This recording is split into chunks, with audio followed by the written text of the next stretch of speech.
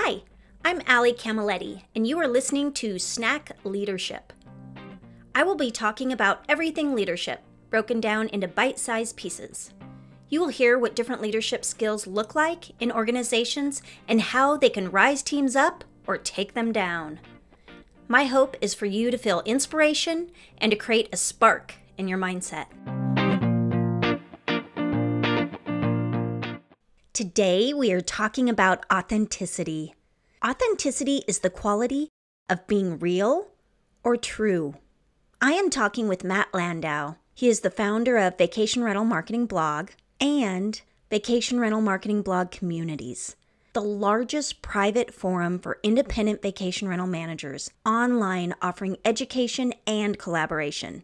He is also known for the Vacation Rental Show and most recently has released a docu-series called Home Runners, focused on the vacation rental management industry.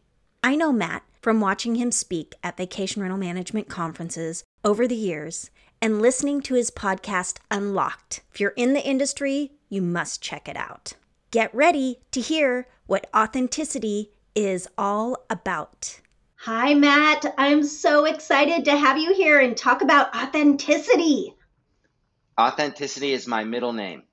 My middle name is actually Bunting. That's a very little known fact about me. My little my middle name is Bunting and it is a family name and it's very strange. I like it. I like it. So, what has made you embrace this leadership skill of choice? I've, I've frankly never looked at it as a leadership skill. I've always uh, looked at authenticity as um, just kind of a tendency, something that I happen to do myself, something that I'm attracted to in other people and in other businesses and destinations when I travel. Um, it's only when you start to an engineer and, and in a very deliberate way authenticity into your profession, into your work, when you start to sort of tweak things and really use it um, intentionally is when I start to re- recognize that it has a leadership um, role. Um, so what made me embrace it was recognizing that it was something that I kind of had naturally. I think a lot of people have an authentic self within them. Uh, it just needs a little bit of cultivating, a little nurturing. Do you remember that moment when you realized that, oh, I've always had this? It's a value, it's embedded. And what does that look like for me in my career? I don't know if there was ever necessarily a moment. Um, I think, like a lot of people, I uh, was tempted to copy people that I admired or dynamics that I was in the middle of. Uh, at certain moments in your life, you're looking for things to to copy, and that's always easy. Um, but I've always had this kind of like uh, off the beaten path kind of attitude. And I think when I first really recognized that it could be a virtue uh, was when I moved to the historic district of Casco Viejo, Panama, which is a UNESCO World Heritage Site. Uh, and I bought my vacation rental company in 2006. That was the start of my vacation rental journey. Authenticity was at the center of everything that we did as the only luxury accommodations in this UNESCO World Heritage District. And seeing that people were willing to pay for that, seeing that that authenticity attracted good employees, seeing that being authentic made us small business owners that were integrated in our community. Uh, that was when I think I realized I put a finger on the fact that, okay, this is actually something we need to focus on. And so when we look more at that, you're leading us right into that next question of what does it look like when it's implemented into company cultures, can you give us a little more tangibility on how you did that and what it looked like to consumers? Yeah, I, I like to um, frame this using a concept that I call the theory of limited edition. When I first moved to the historic district, I was uh, given a tour by a local real estate broker. Uh, shout out to Patricia Pinzon of Arco Properties. Uh, but she explained to me that because this was a historic district, you could not build up or out from the original facades, that there would only ever be a fixed amount of properties on the Casco Viejo real estate market, which made it, in her words, a limited edition investment. And I loved the way that she framed that. And I sort of went down this limited edition rabbit hole and I started researching the world of collector's items.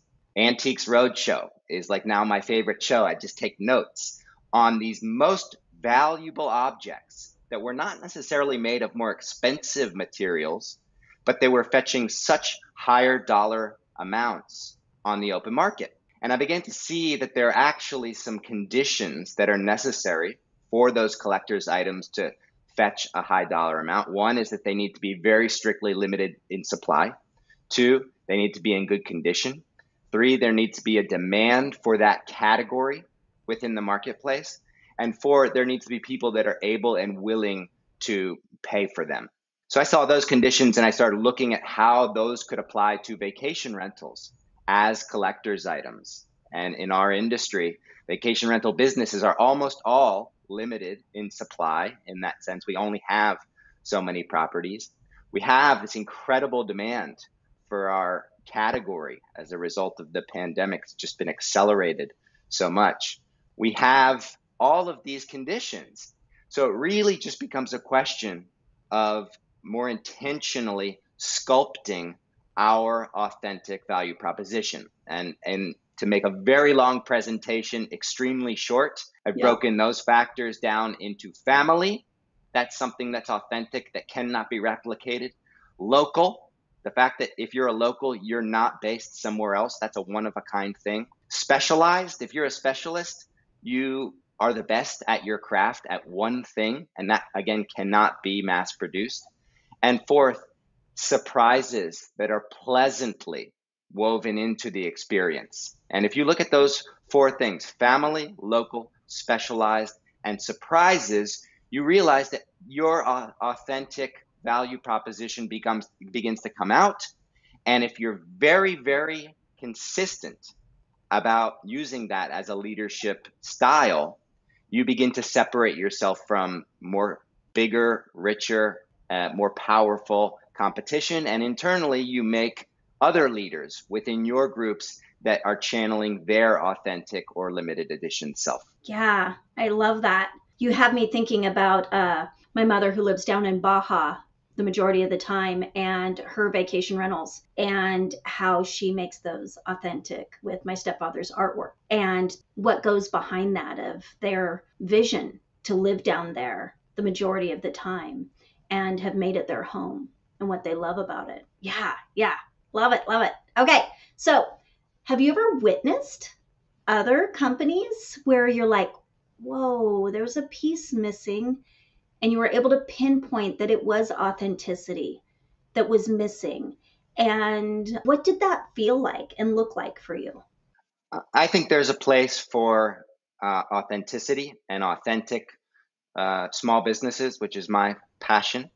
Uh, there's also a place for commodity driven businesses um, that are more mass produced, that are built at scale.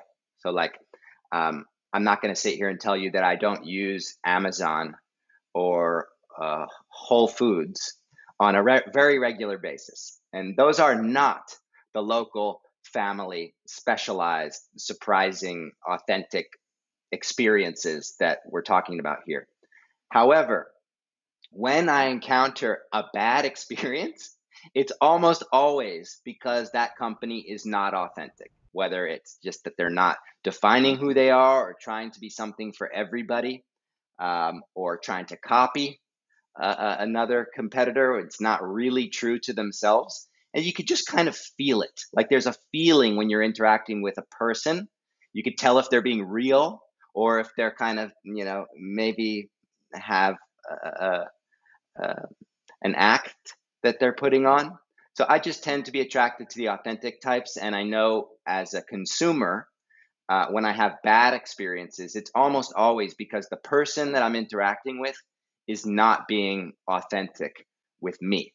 And I think that's um, a cultural issue. And the best companies in, empower their employees to do that well. Uh, and the companies that struggle maybe lack it. Yeah, vacation rentals specifically is is my jam. And I, I work with the owners and the managers who are building limited edition vacation rental businesses. But there's also what we call big box managers in the industry who are trying to scale this personalized service or product. I know what they're trying to make consistent is a very tall ask. It's a huge challenge with all these moving parts to make a vacation rental a consistent experience no matter where you stay. But in all of the complaints, and there are plenty of them from guests who stay in these properties um, to homeowners who are reviewing these managers and are not happy, it's almost always a case of not being true and or not being transparent and or not doing a good job.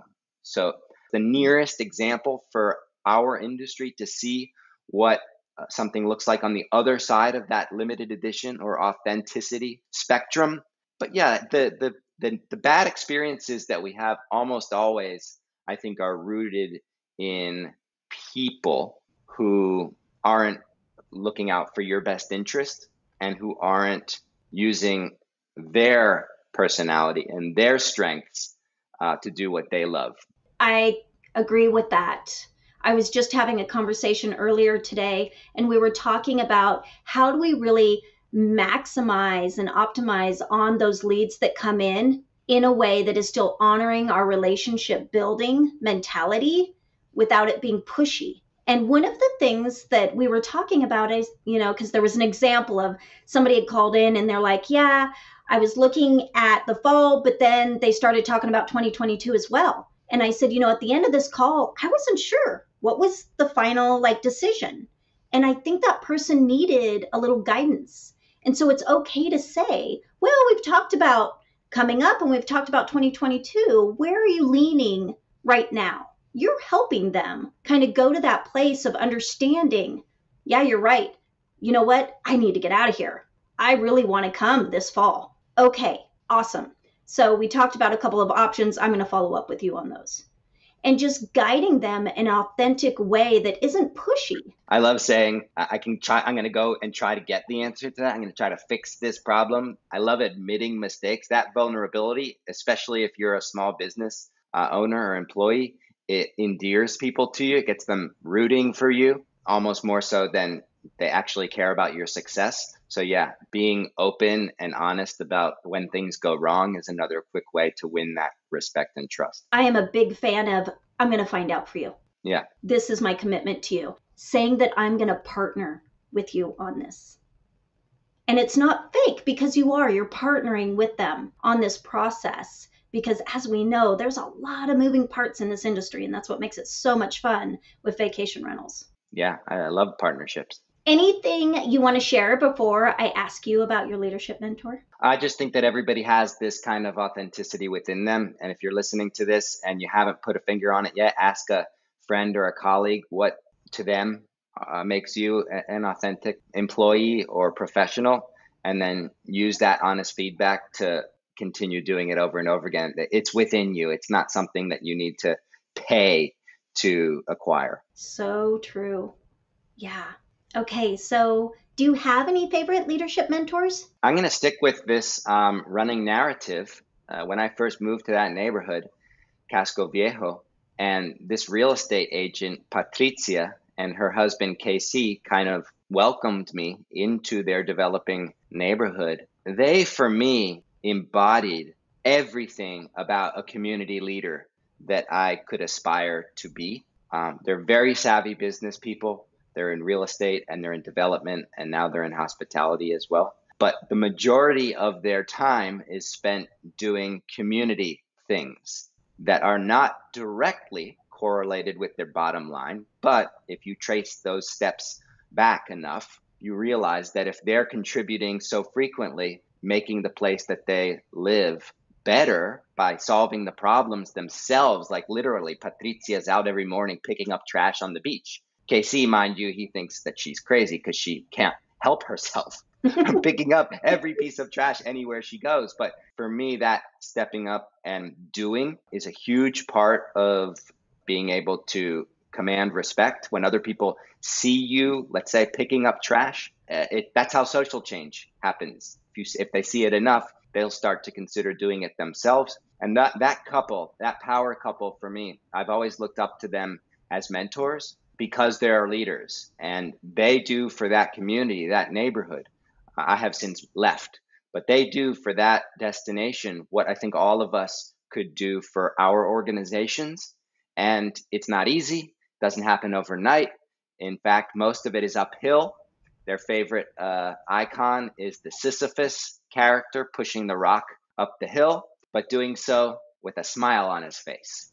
And that's what I think they have taught me that there is a beauty in that struggle. Yeah, yeah, that's beautiful. All right, how about a quote that you really feel embodies authenticity? That's a good question, and I and I was looking through my quote section of my iPhone, and I found one that I thought was a good fit here. It's talking about genius, but I think if you if you replace genius with authenticity, it's very fitting. Says, but it isn't magic and it isn't born. It happens because some critical things line up so that a person of good intelligence can put in the sustained, focused effort it takes to achieve extraordinary mastery. I view everything we've just talked about in the last 15 minutes in a similar way. If you're constantly refining that authentic narrative or leadership style, it's a life process, but it's also incredibly fulfilling. You make progress over time, and it's something that attracts, moving back to that analogy of collector's items, people who admire and respect you and when you work with those kinds of people, it makes your life better. Do you know who said that quote? I do know who said that quote. Author was Thomas Oppong. So, what is your favorite snack? Olives, and second place is salted, crunchy little things like nuts or crackers. Those two things, if, if anybody knows me, they'll, they'll know that I love snacking on little crunchy, salty things and olives almost any time of the day or night. That's great. Thank you, Matt, so much for your time and your expertise. It has been an absolute pleasure. Thank you for inviting me, Ali. Have a nice day. You as well.